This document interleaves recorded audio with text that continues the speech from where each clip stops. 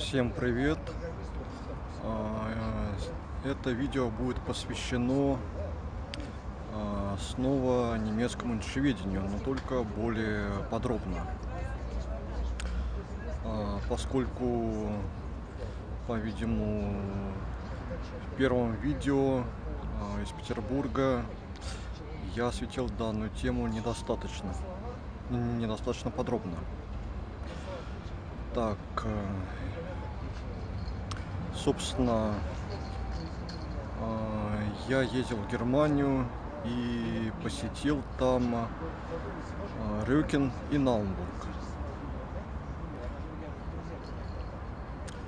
А также пытался вести переговоры с директором Ницше документационным центром Ральфом э, Айхбергом. Итак, э, обо всем несколько подробней и с моей точки зрения.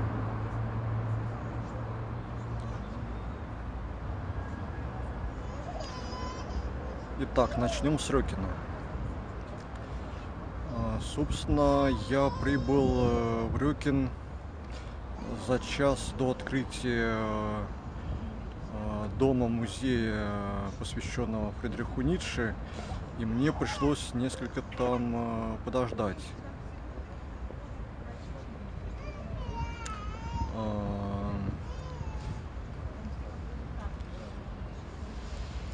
Как, когда дом-музей открылся, я осмотрел, э, собственно, выставку, э,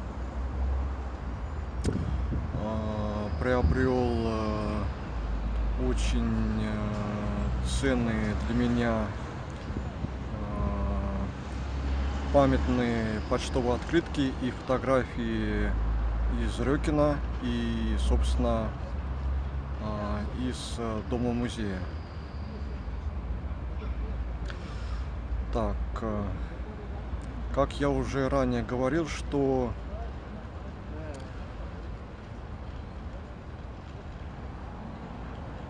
общий, общий подход э, немецкого ницшеведения к интерпретации Фридри- философии Фридриха Ницше, он э, остается критическим. Эм, критическим. И, собственно, Фридрих Ницше до сих пор э, даже в ницшеведении, даже в академической среде понимается как э, прото протонацистский мыслитель, э, который эм,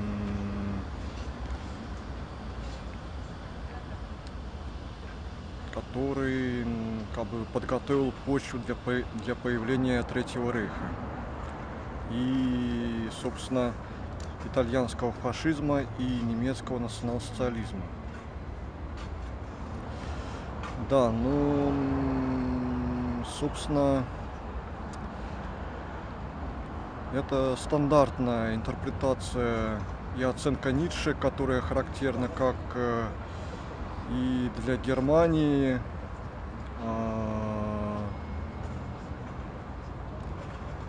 Европы, то бишь Европейского Союза. А, Такую же, такая же оценка Ницше характерной для России. И, и также точно такая же оценка а, Фридриха Ницше характерна для Америки.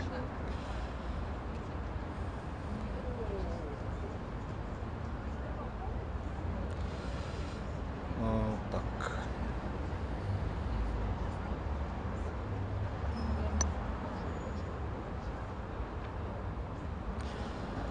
Так, сори, у меня тут э, небольшое объявление на телефоне. Ам, до- Должен сказать, что само, сам подход к сохранению наследия Фридриха Ницше э, который э, начался с деятельности сестры Ницше Элизабет мне не очень симпатичен, поскольку там основной акцент э, делается памятным мероприятием, посвященным э, дате смерти Фридриха Ницше. Э, я бы со своей точки зрения и с, с того понимания учения жизни Фридриха Ницше как мне удалось сейчас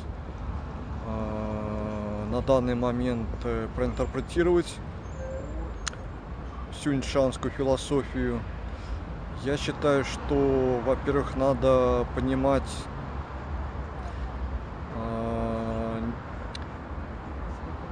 личность Ницше как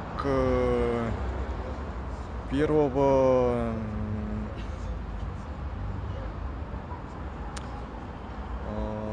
я бы даже сказал, что первого в истории человечества досказательного мыслителя. И я считаю, что надо э, в первую очередь отмечать день рождения э, Фридриха Ницше. Потом, э, собственно, памятные, памятные даты и праздники – который э, предстоит еще только установить. И только потом, э, как э, одной из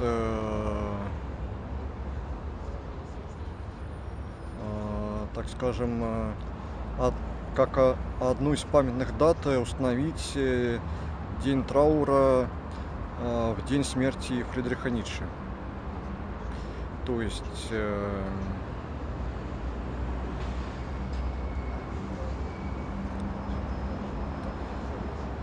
э, надо подходить э, к сохранению наследия Фридриха Ницше досказательно и жизнеутверждающе.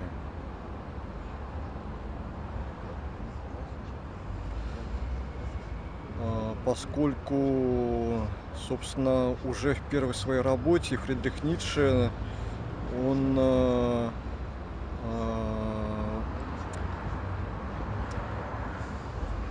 э, выразил э, те смыслы, которые он там заложил уже как жизнеутверждение и досказание, назвав свою первую серьезную работу рождение трагедии из духа музыки. То есть э, здесь, э, опять же, в обыденном понимании трагедия является э, очень э, пессимистическим и трагическим событием. Но Ницше э, отошел от обыденной и очень распространенной в то время, да и сейчас Э, интерпретации трагедии и всей античности.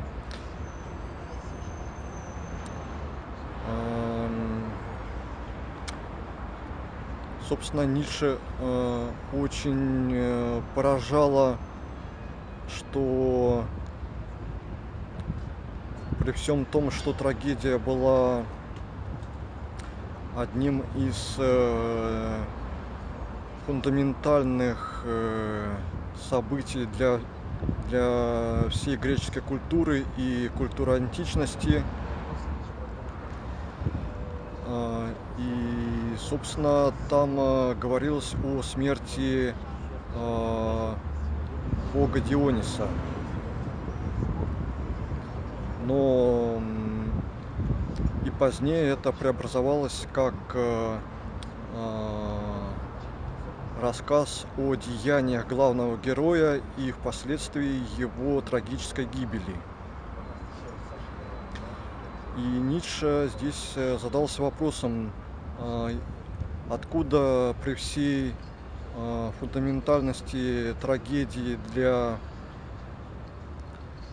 э, античной культуры у древних греков э, все же э, была такая жизнерадостность и веселость.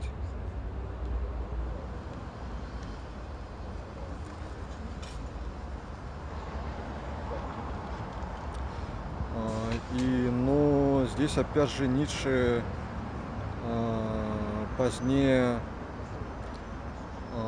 дал второе название рождению трагедии как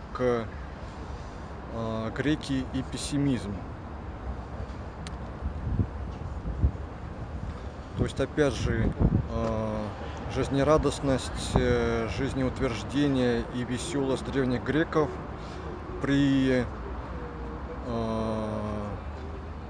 всем им, э, всем их э, трагическом э, жизнепонимании. И наше современное, наш современный пессимизм, который, собственно,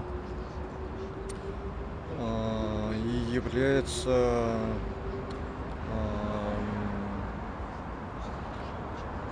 очень человеческим и очень обыденным.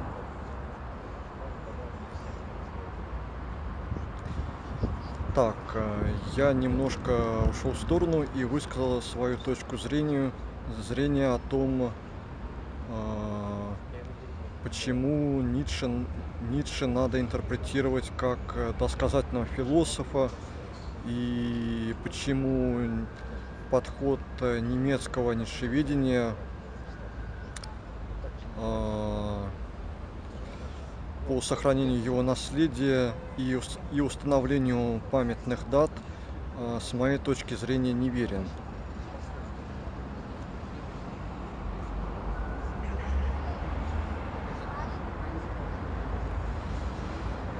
Э, собственно, э, также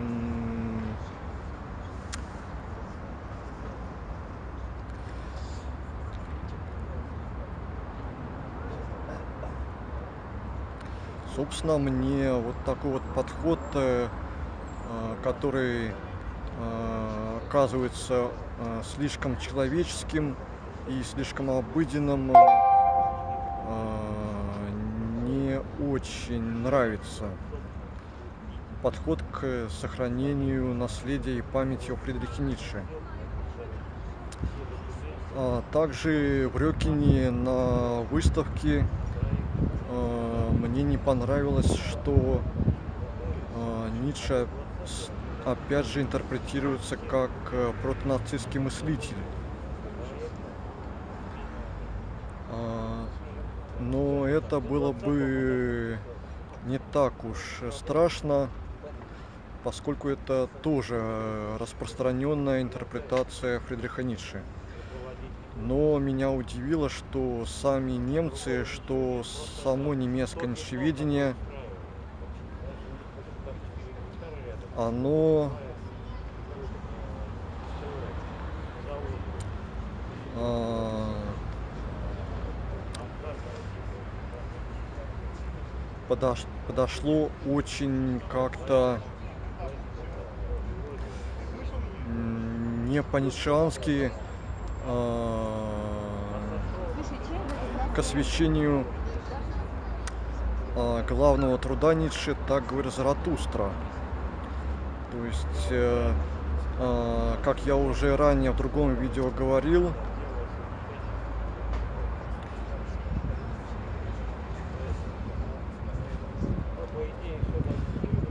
как я уже говорил, стенд, посвященный так говорит Заратуст, Заратустра.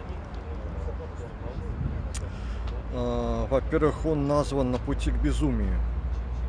То есть, то есть довольно как-то уж э, в духе сократовской Европы, я должен сказать, а, Ницше э, в данном случае интерпретируется есть э, как э, а, не Ницше понимается не своими последователями и учениками, а своими оппонентами, которые, ну, хотя и являются ницшеведами, но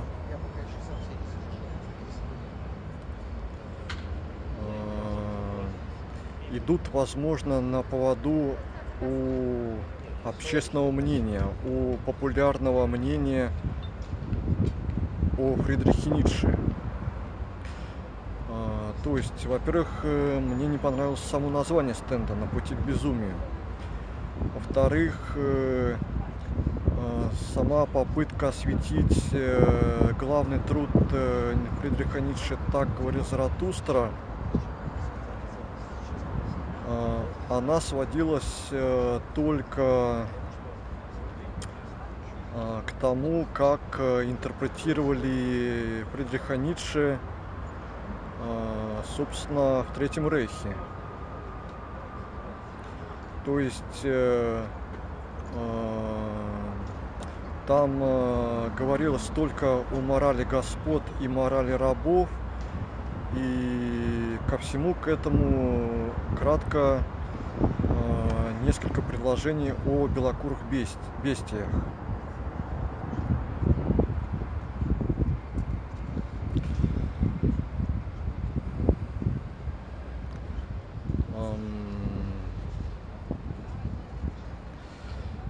Так, и то есть, собственно, все освещение, э, так говорил, говорил Заратустра, сводилось э, к двум абзацам, посвященным э, нацистской интерпретации Ницше. И потом сразу же на этом же стенде был, был переход к Антихристу. Я считаю, что Антихрист это не самостоятельное произведение, а незаконченное, незаконченный труд Ницше.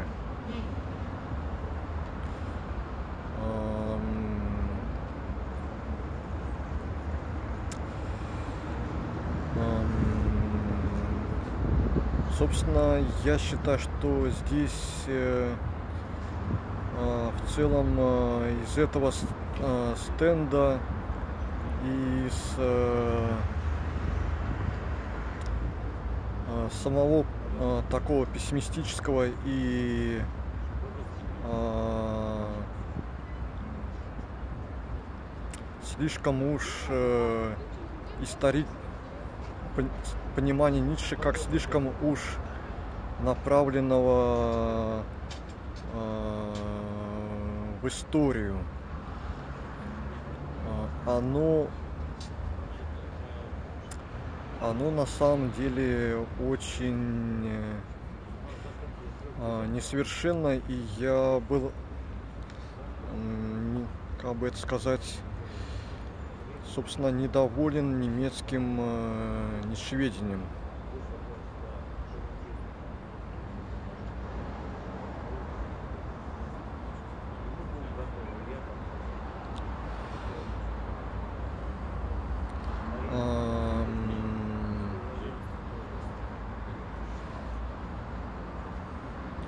Притом э, сама организация экспозиции в Рёкине, э, она была организована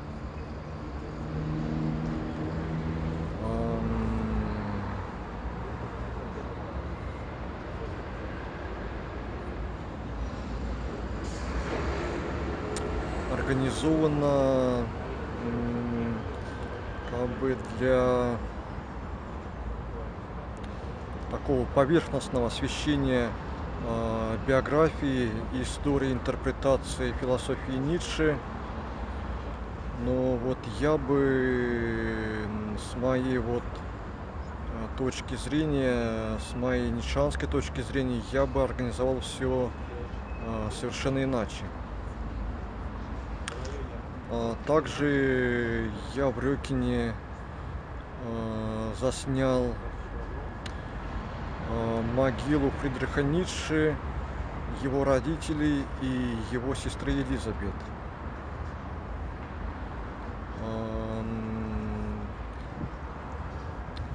Хотя я бы на самом деле э, могилу Ницше, э, наверное, поместил, перенес бы э, в Наумбург. Я думаю, что так было бы намного более точнее э, передать э, э,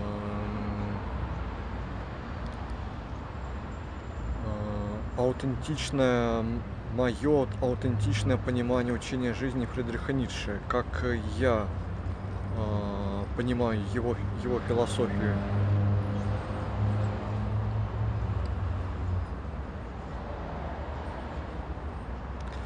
Потом э, в Рёкине я кратко заснял очень дурной памятник, э, э, посвященный годовщине смерти Фридриха Ницше, открытый в 2000 году. То есть там, опять же, Ницше очень не- изображается очень грубо и эм, и в общем все выполнено в стиле современного искусства. Я бы, наверное, э, вообще удалил бы этот, э, эту культурную, культурную композицию э, из Рёкина и вообще это слишком уж такое сократовское понимание Ницше и попытки по сохранению его, его наследия.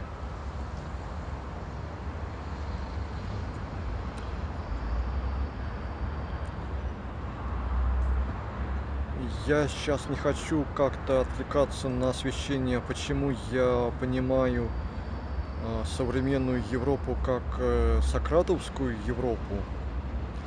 И, собственно, всю, нау всю науку и философию как, э, собственно, то, что Ницше называл проблемой Сократа. То есть это слишком обширная тема, которой, я думаю, э, посвящу э, другие свои видео.